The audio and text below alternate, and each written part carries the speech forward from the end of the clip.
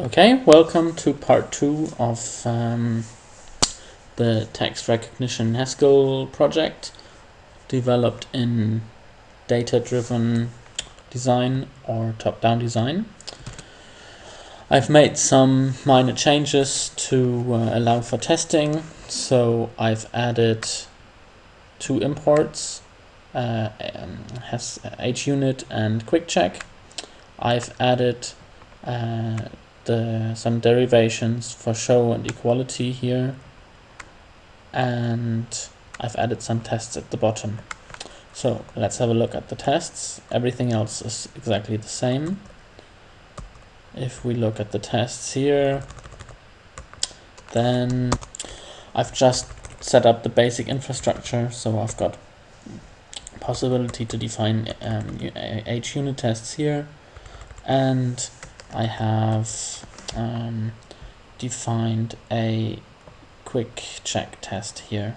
So first I define a an arbitrary data instance for coord so that I can make random coords and then I say given two coords if I if I subtract the same coord it's the origin and then there's one here where it says C1 minus, well, just testing whether some basic laws of arithmetic um, apply here. And then I've defined a function run tests. It basically runs the HUnit tests and it runs the one quick check test. Okay, so if we actually run the test suite, then we can see the quick check test runs perfectly and the test case is also, well, it's an empty test case right now. So, if we want to check for area widths, then we say area widths. Mm.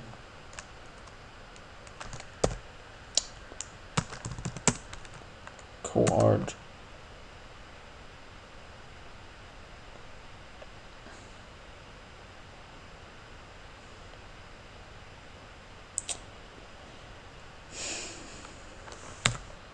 Okay, let me define a couple of core of, of area things here.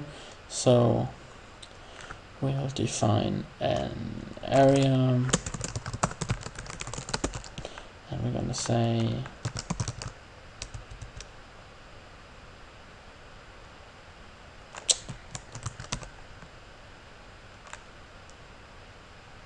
Okay, I just saw that we made a bit of a mistake here. So let's fix that. This should be bottom right.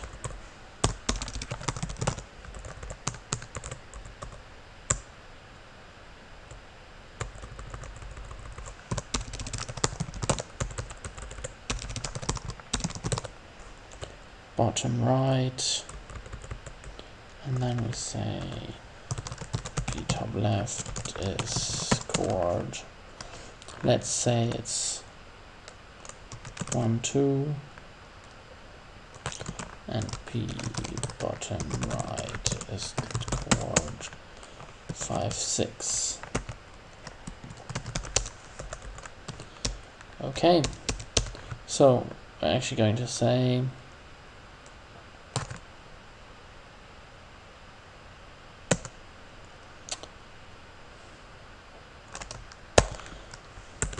so this is the result that's going to come out.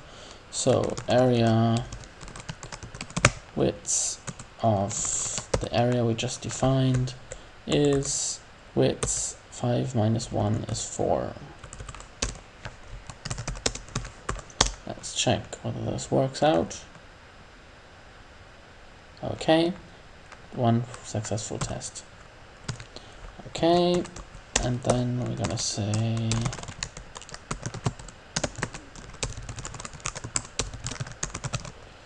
area height.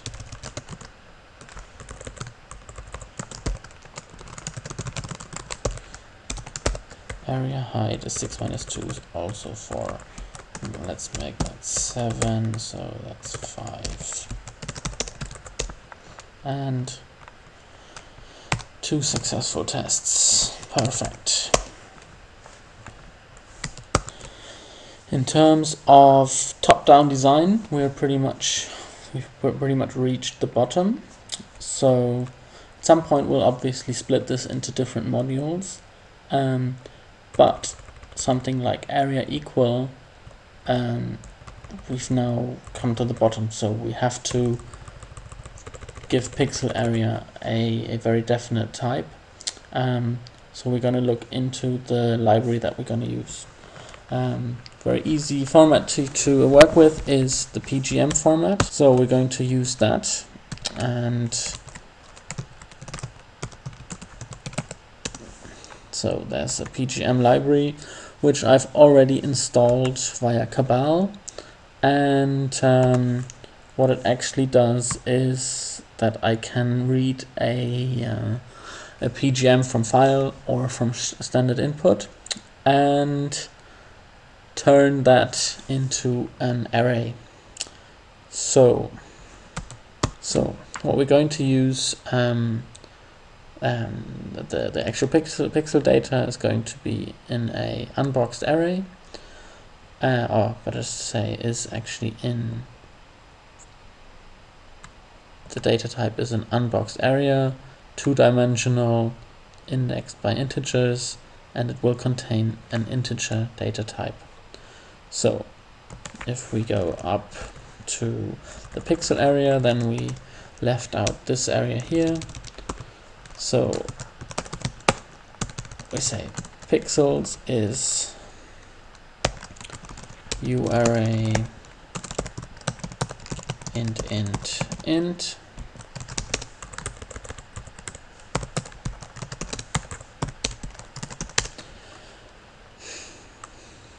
Okay, so for the U array, we're going to actually need a library.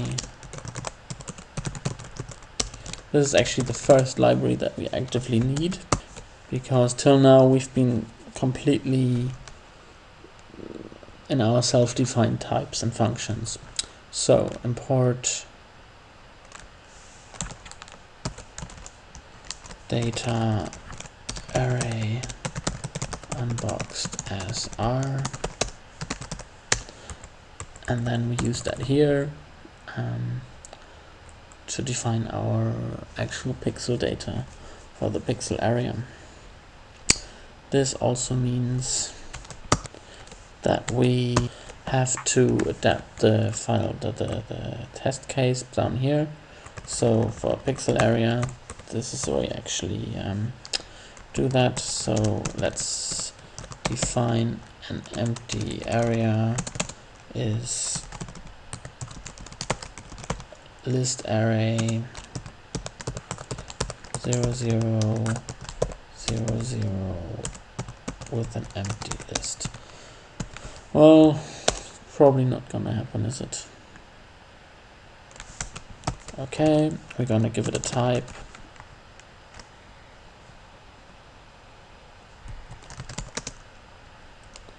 Actually, we're going to define the type up there.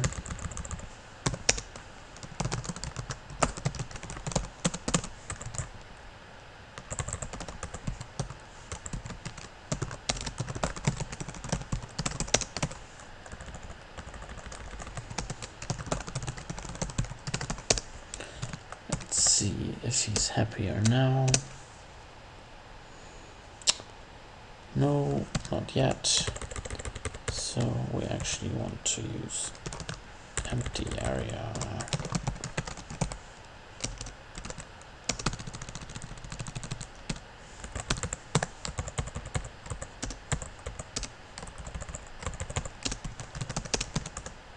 Let's see.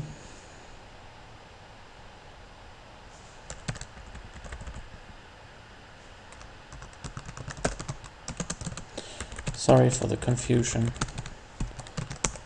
muddled right now. Okay, compiles and the test cases still run. Perfect.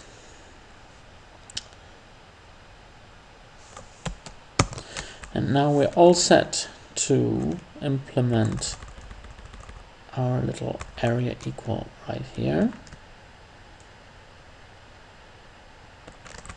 Let's get the area ones together.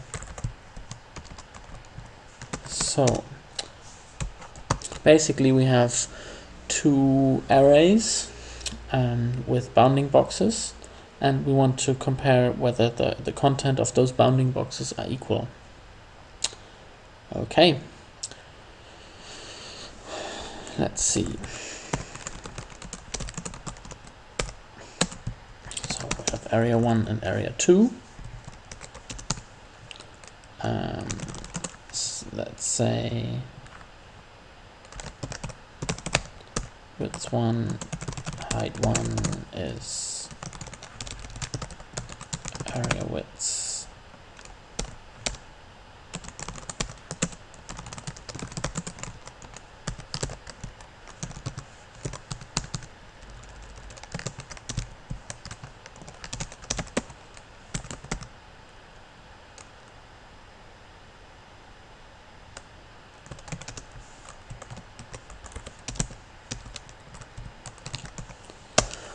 Okay, so we need those widths fields. And now I want to find the minimum widths. So that is min widths and min height is min of width 1 and width 2, min of height 1 and height 2 Okay, so basically this is the area that we can compare them about. We can't compare outside of the area. So this is the, the overlap of the two. Okay, so basically we have two arrays. We know which indices we want to compare. And now all we have to do is uh, generate a list of indices. Okay, so what we probably need here is a list comprehension that goes columns first and then so vertical first and then horizontal. Um,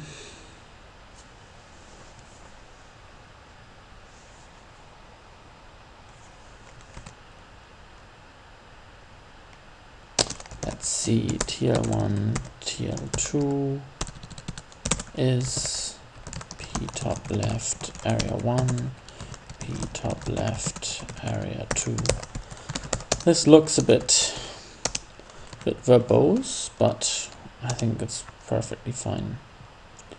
So we have indices 1 is p top left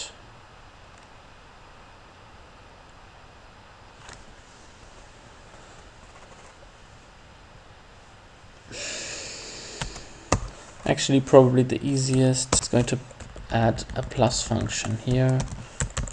Then we have all the flexibility. Let me just add a test here.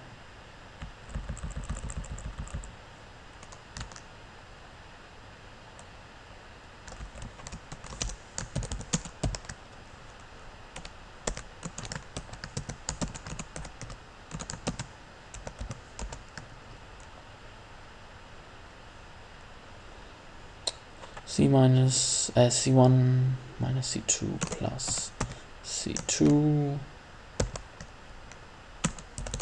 is c1 and c1 plus coord 0 0 is also c1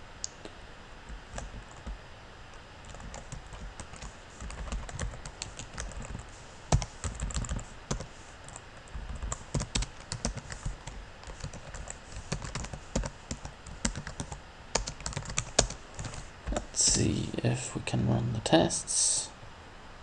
Okay, all tests passed. So basically what I would need here is a list comprehension that gives me